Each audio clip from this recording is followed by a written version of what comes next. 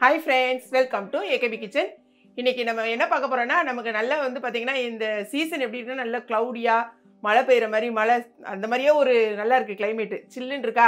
So நம்ம வந்து சுட சுட இன்றைக்கி வந்து பால் கொழுக்கட்டை செஞ்சு சாப்பிட போகிறோம் ரொம்ப பிடிச்சமானது. எனக்கு வந்து சின்ன பிள்ளைங்கள்லேருந்தே பால் கொழுக்கட்டைனா ரொம்ப இஷ்டமாக நான் சாப்பிட்டேன் ஸோ என் பிள்ளைங்களுக்குமே அது ரொம்ப பிடிக்கும். இன்றைக்கி அதுதான் நான் வந்து செஞ்சு கொடுக்க போகிறேன் அதை உங்களுக்கும் எப்படி செய்கிறது ரொம்ப ஈஸியாக டேஸ்ட்டாக எப்படி பண்ணுறதுன்னு பார்க்க போகிறோம் வாங்க பார்க்கலாம்.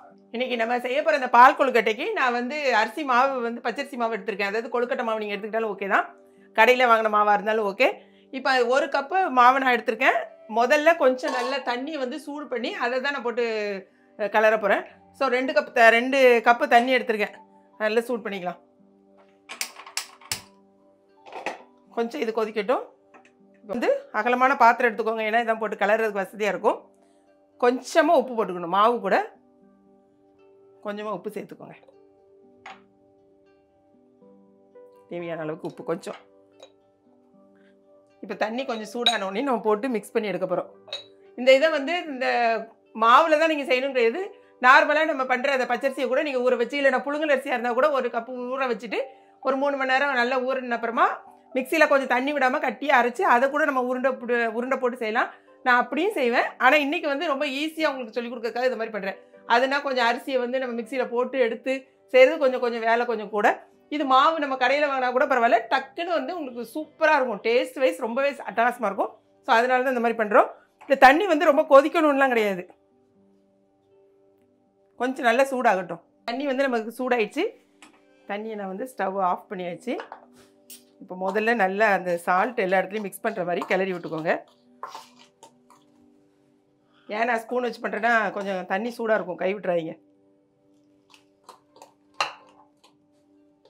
கொஞ்சம் கொஞ்சமாக தண்ணியை ஊற்றி நம்ம எப்பவும் இந்த கொழுக்கட்டைக்கு பிசைஞ்சு எடுப்போம்ல அந்த அளவுக்கு நீங்கள் பிசைஞ்சிக்க வேண்டியதான் அரிசி மாவு எப்போவுமே தண்ணி இழுக்கும்.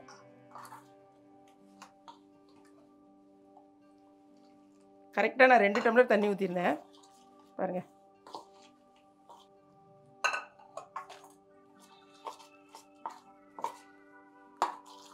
இப்போ கொஞ்சம் கையை விட்டு நம்ம வந்து பிசைஞ்சு எடுத்துக்கலாம். பாருங்க ரெண்டு டம்ளர் தண்ணி ஊற்றுறதுக்கு கிட்டத்தட்ட ஒரு ஒன்றரை டம்ளர் தண்ணி ஆயிருக்கு நமக்கு.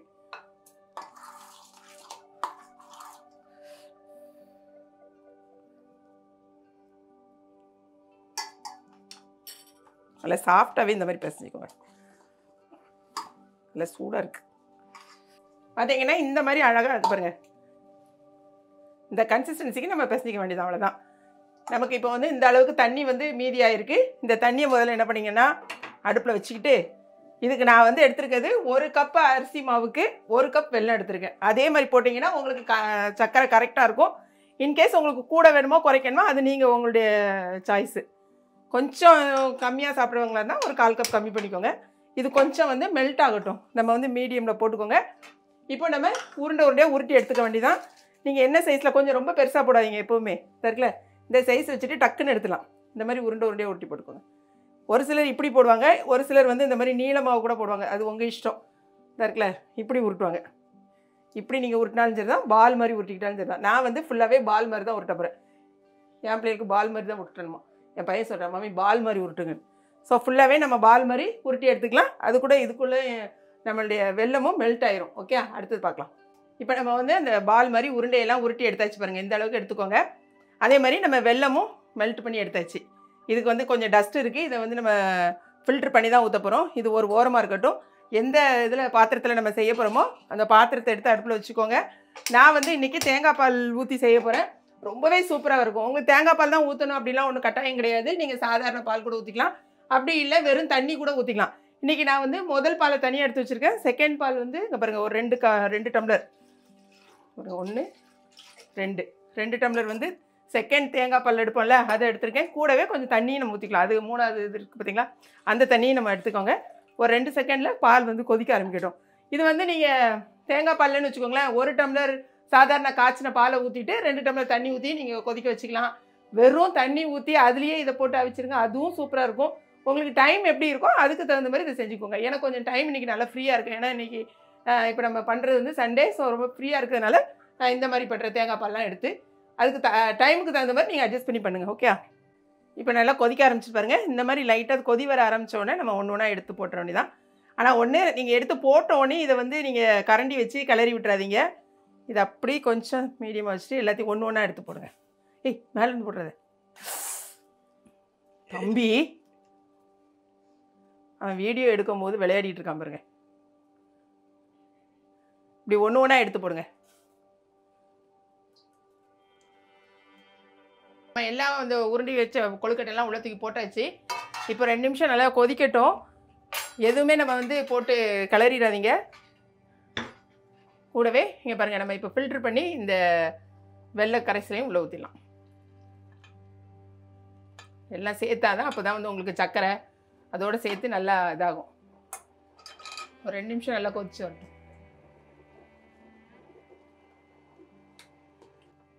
பார்த்தீங்கன்னா ரெண்டு மூணு நிமிஷம் ரெண்டு நிமிஷத்துலேயே நமக்கு இந்த மாதிரி ஆயிரும். நல்லா கொதிக்கட்டும். இந்த டைமில் நீங்கள் கொஞ்சம் திக்னஸ்க்காக கொஞ்சம் அரிசி மாவை வந்து நீங்கள் கலக்கி நம்ம உள்ளே ஊற்றிக்கலாம் கொஞ்சம் திக்காகும் கொஞ்சமாக அரிசி மாவை வந்து இந்த மாதிரி கலக்கிக்கோங்க. கலக்கிட்டு நான் அதுக்குள்ளே ஊற்றிக்கிறேன் கொஞ்சம் திக்னஸ்க்காக ஒரு நாலஞ்சு நிமிஷம் நல்லா மீடியம் ஃப்ளேமில் போட்டு வேக வைங்க.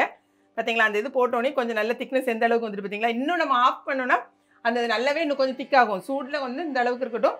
நான் வந்து தேங்காய் கொஞ்சோண்டு தேங்காய் எடுத்து அதே மாதிரி ரெண்டே ரெண்டு என்ன சொல்கிறது ஏலக்காய். ஏலக்காவும் போட்டு மிக்சியில் அடித்து வச்சுருக்கேன். நீங்கள் துருவி தேங்காவை போட்டிங்கன்னா ஏலக்காவும் ஒரு தட்டு தட்டி போட்டுருங்க. ஏலக்காய் போட்டால் தான் வாசனை நல்லாயிருக்கும் இந்த டைமில் கண்டிப்பாக தேங்காவையும் ஏலக்காவையும் கொஞ்சம் போட்டுக்கோங்க. செமையாக இருக்கும். பாருங்கள் நம்மளுடைய பால் கொழுக்கட்டை எவ்வளோ சூப்பராக ரெடி ஆகிட்டு இருக்குன்னு. இப்போ நம்ம நீங்கள் கொழுக்கட்டையை பார்த்தாலே உங்களுக்கு தெரியும். நம்ம போடும்போது அந்த மாதிரி வெள்ளையாக இருக்கும். அரிசி மாவு அவிஞ்ச மாதிரி கிளாஸி லுக் வந்துடும் கண்ணாடி மாதிரி வந்துடும் பாருங்கள் இப்போது கடைசியாக நான் இந்த பாருங்கள் ஒரு ஒரு அரை டம்ளருக்கு மேலே கொஞ்சம் நல்ல திக்கு பால் எடுத்து வச்சுருக்கேன் தேங்காய் பால். அதை நம்ம ஸ்டவ் ஆஃப் பண்ணிவிட்டு ஊற்றிக்கலாம் அவ்வளோதான் நம்மளுடைய நல்ல திக்கான பாலை ஊற்றியாச்சு ஸ்டவ் ஆஃப் பண்ணிடுங்க இன்னும் ஒரு அஞ்சு நிமிஷம் கழித்து நீங்கள் பார்த்தீங்கன்னா இன்னும் கொஞ்சமே நமக்கு திக்காகும் அந்த கன்சிஸ்டன்சி கரெக்டாக இருக்கும். ஸோ இந்த ஸ்டேஜில் நம்ம கரெக்டாக எடுத்துட்டிங்கன்னா ரொம்பவே சூப்பரான உங்களுக்கு பால் கொழுக்கட்டை ரெடி ஆயிரும். இது வந்து நீங்கள் பிகினர்ஸ் கூட ஈஸியாக செய்யலாம். நான் சொன்ன அதே ஸ்டெப்ஸை மட்டும் நீங்கள் ஃபாலோ பண்ணுங்கள் நீங்கள் அரிசி வச்சு அரைக்க வேண்டியதெல்லாம் இல்லை. வெறும் வந்து அரிசி மாவில் நீங்கள் செய்யக்கூடியதுன்னு ரொம்ப ஈஸியான ஒரு கொழுக்கட்டை ரெசிபி கொஞ்சம் சூடாகணுன்னே நம்ம டேஸ்ட் பார்க்கலாம். பாருங்களேன் கன்சிஸ்டன்சி இப்போ கரெக்டாக இருக்கு பாருங்க. இன்னுமே கொஞ்சம் திக்காகும் உங்களுக்கு. இந்த அளவுக்கு இருந்தால் ரொம்ப கரெக்டாக இருக்கும்.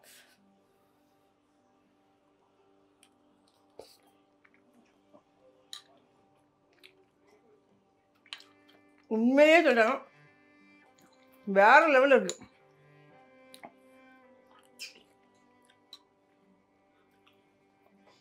நீங்களும் கண்டிப்பாக இந்த ரெசிபியை செஞ்சு பாருங்கள் நீங்கள் தேங்காய் பால் இல்லைன்னா சாதாரண பால் இல்லைன்னா தண்ணி செஞ்சுக்கோங்க. ரொம்பவே டேஸ்டான இந்த ரெசிபி உங்களுக்கு கண்டிப்பாக பிடிக்கும்னு நினைக்கிறேன். பிடிச்சிருந்துச்சுன்னா லைக் பண்ணுங்கள் மறக்காமல் ஏகேபி கிச்சனையும் கிளாட் ஃபேஷனையும் சப்ஸ்கிரைப் பண்ணுங்கள் தேங்க்ஸ் ஃபார் வாட்சிங்